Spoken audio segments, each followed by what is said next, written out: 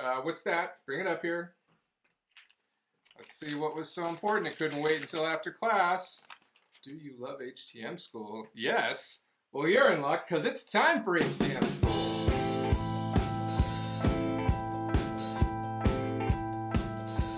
Hello and welcome to HTM school. I am Matt Taylor from Numenta. Today I'm going to talk again about encoders, this time about the, the date time encoder. But first let me talk about a few principles of encoding that I didn't touch upon in the last episode. So encoders are like the outermost layer of an HTM system that translates real-world data into SDRs so that they can be processed by HTM systems. It's very important that a given input value be converted in a way that translates and captures the important semantic characteristics of that data inside the SDR that's being created.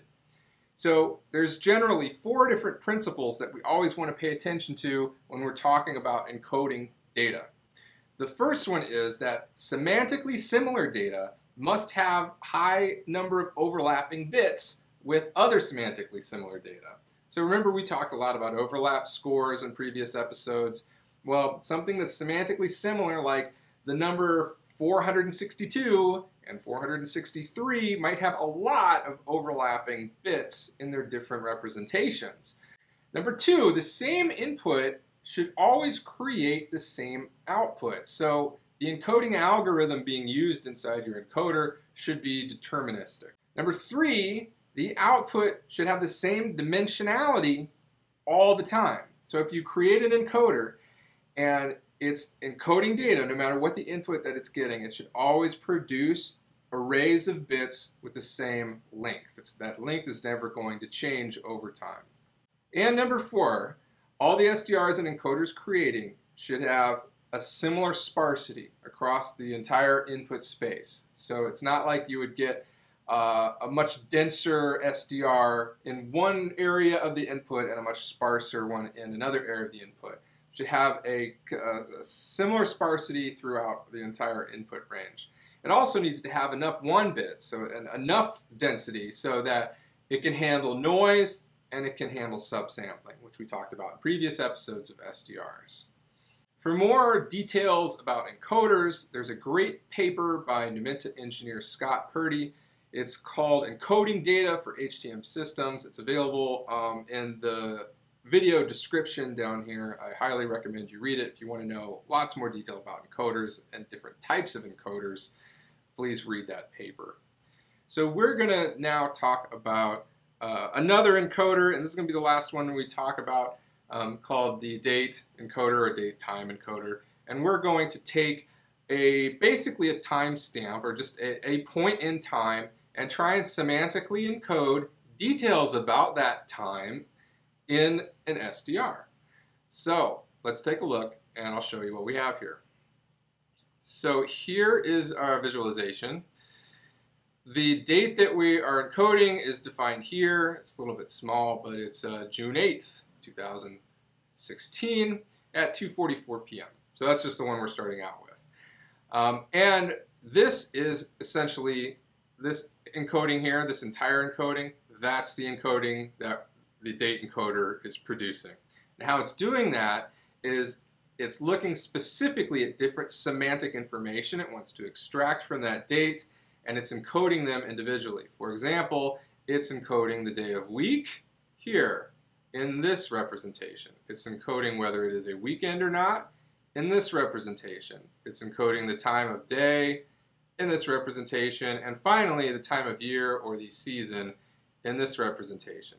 And this is something that any one of us could do. We could say, well, June, that's sometime in the middle of the year. That's kind of why this season bucket right here is in, in the middle of the representation. Uh, 244 time of day, that's somewhere in the middle of the day. Um, it is currently uh, not a weekend, so that's why this, this generally has two ways to represent it, a weekend or not a weekend. And the day of week, it is a Wednesday, so we're right in the middle of the week. Okay, now let me, let me get into this date and show you what it looks like when we start changing things around. So I'm going to jump ahead one week and look at all the bits on the screen here and watch what happens when I jump ahead one week. So from the 8th to the 15th, I'm just going back and forth here. you can see that the only thing that's changing is the season encoding. Uh, the day of week hasn't changed because I'm still on a Wednesday. I jumped ahead one week. The weekend encoding hasn't changed because I'm still not a weekend and I haven't changed the time, so nothing is changing except for that season. And as you can see as I go into the future, August, September, October, we're getting further along in the year until we overlap once we get towards November, December, January, and then that season SDR representation is periodic, like we talked about in the previous episode about scalar encoding. It's a periodic encoder, so it just wraps back around because January is semantically similar to December because they follow each other. Um, and that season encoding you can also see wrap around here uh, in the output encoding as well as we move it along, right? So if you haven't figured this out by now, this encoding down here at the bottom, this grand encoding, which is the uh, complete output of the encoder, is simply the combination of all of these different encodings. Now, we're not doing an and or an or on them. It's just a concatenation. So essentially, you, you can see this season encoder somewhere right around in here. It's the first one that's being encoded. And I think the time of day encoder might be next. So that's this is the time of day encoding. This is the day of week, I believe. This is the weekend. And this is the last one, whichever it was. So as we start moving these things around, so I'm going to move ahead in the week now. So I'm changing day of week. You can see that day of week change in the day of week encoding individually. And you can also see the entire the day of week blob in the entire encoding changes because these arrays are just concatenated together. It's a multiple encoding um, with a bunch of different semantic values or representations in different SDRs just being concatenated together and this will just be handed to the spatial pooler. Its job will be to decide how to normalize this and represent the actual semantics that exist in this SDR coming from the encoder. So one of the important things I want to talk about here, um, and I, I, didn't do time of day. We can see time of day changing if I go uh, into uh, the time, the hour, and keep moving it along. But it operates the same as the others. So you might be thinking, why do I need so many bits to represent the day of the week? Why don't I just have seven bits and one of them is on for each day of the week? Yeah, so yeah, we could totally do that. Um, in fact, I have a slider here uh, on each one of these so that I can control how big each representation is or how many different on bits. So, so let's try and minimize this stuff. I can do two bits for the weekend, it's either weekend or it's not. Seven bits for the day, it's either one of the days or not. And we could even, you know, dial down the time of day and just have three buckets for the time of day. Uh, I think I'd rather have time of day a little more, maybe season a little more, but the, the reason why this may not be what you want is because now the encodings for day of week and time of day are, are really small compared to the other encodings for time of day, especially if we make these a lot bigger. Um, time of day and season could have a lot more bits. Uh, so as we change the day of the week, there's a significant amount of bits moving now in the season encoding. And if we go into time of day and start moving the hours, again, a significant amount of bits changing just for a change in the hour. But for the day, if we move from Thursday to Friday, there's hardly any bits changing. In fact, there's there may be more bits changing in the season encoding than there is in the day of week encoding. So we're so there's there's a weighting problem here. The time of day and the season encodings are weighted much more heavily now than the day of week and the weekend encodings. So that semantic information is going to be conveyed more strongly in the HTM system than day of week and weekend. You might not want that. You might think, well, day of week is actually extremely important in my data.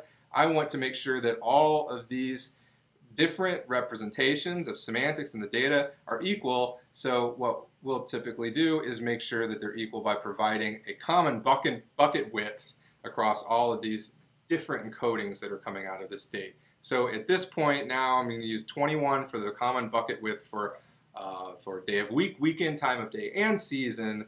So I know as these things change, each of those semantic information uh, categories gets uh, this the same amount of attention when the HTM system processes it. When the spatial pooler tries to understand this and, and normalize it, it has the the same ability to extract each one of these semantic bits of information.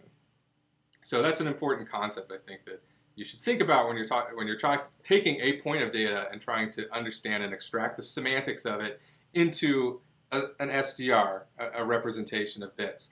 You want to make sure that there's a there's a common amount of on bits between the different things that you're trying to extract. So I have talked about very basic encoders. We've done a scalar encoder, random distributed scalar encoder, and now date time encoding. Um, I saw a comment on a previous YouTube video uh, that said, let's just skip encoders. Encoders are easy. I'm more interested in spatial pooling. So yes, the encoders that I've shown you so far are pretty easy. But encoding in general is not an easy thing to understand and do. Take, for example, sound. We don't have a sound encoder for HTM systems. And it's not because we haven't tried. It's because it's really hard. It turns out that your cochlea has had hundreds of millions of years of evolution to become the extremely complex system that it is.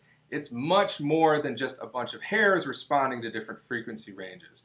There are papers and papers about how the cochlea works and how it creates this representation that passes into the neocortex and the rest of the brain.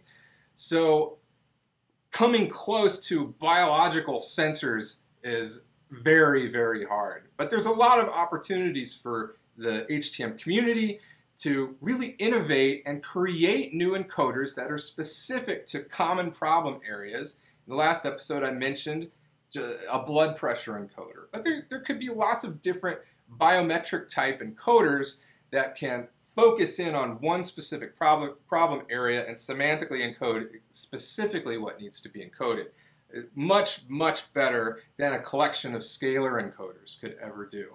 So this is a place in HTM that is ripe for innovation. So I challenge you to think about different ways that you could encode data into sparse distributed representations because you might be able to provide an encoder that the rest of the community could use and create amazing things with. So again, if you want to discuss encoders in general, you should go to our encoders section of the HTM forum, which is linked in this video description. Thank you for watching this last episode on encoders, and I am Matt Taylor, and I'll see you next time when we talk about spatial pooling.